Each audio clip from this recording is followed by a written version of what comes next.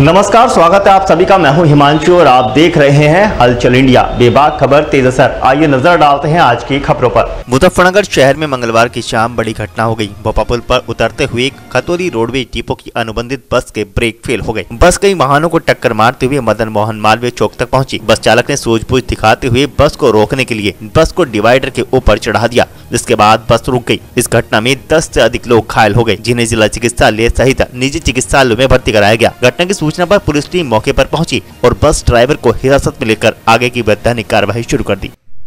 आज शाम को एक खतौली डिपो की बस थी जो सहारनपुर से मुजफ्फरनगर आ रही थी और भोपा पुल से उतरते समय यह बस अनियंत्रित हो गई और डिवाइडर से जा टकराई और काफ़ी दूर तक ये डिवाइडर से टकराती गई, जिसमें सड़क पे आ रहे जो राही जन थे, उनमें से कई लोग घायल हो गए, जिन्हें तत्काल अस्पताल में भर्ती करा दिया गया है, जहाँ पे उनका इलाज चल रहा है। प्रथम दृष्टया यह तथ्य प्रकाश में आया कि यह ब्रेक फेल है। फिर भी इसकी असली कारण जानने के लिए गहराई से जाँच की जा रही है। जो भी तथ्य प्रकाश में आएँगे, उनके आधार पर अग्रिम विधिक कार्रवाई अमल में ली जाएगी। ड्राइवर हिरासत में है। पूरा मामला ऐसा है, जो ड्राइवर और कंडक्टर जो है, ये कहते हुए आ रहे थे, गाड़ी के ब्रेक फेल हो चुके हैं, आगे चढ़ जाओ। और जो है, ये पुल पुल पुल पे जो है ब्रेक फेल हुए हैं इसके। और इसमें पच्चीस तीस सवारी थी कम से कम और एक लेडीज़ जो है बस में है चलती बस में से कूदती है अपनी जान बचाने के लिए। और ये गाड़ी जो है इन्होंने यहाँ साइड में ला के इन्होंने डिवाइडर में घुसा दी। और बहुत तकड़ा एकदम हादसा हुआ है हम अंदर काम कर रहे थे हमने आके देखा तो गाड़ी जो है डिवाइडर में घुसा चुका था वो।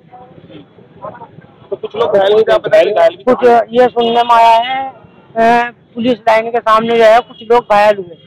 एक बाइक वाला और एक एक्टिवा वाला और एक कार वाला। ये तीन जो है तीन वाहन वाले घायल हुए हैं। बाकी बाकी पक्का नहीं पता है कि उनके चोट ज़्यादा है या कम है। अभी मौके की स्थिति क्या है? मौके की स्थिति तो ये है यहाँ पर पुलिस बल लगा हुआ है वो जो है गाड़ी ले आने की तैयारी कर रहे हैं। गाड़ी कैसे ले जाई जाए?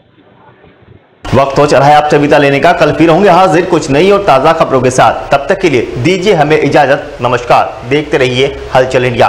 बेबाक खबर तेज असर।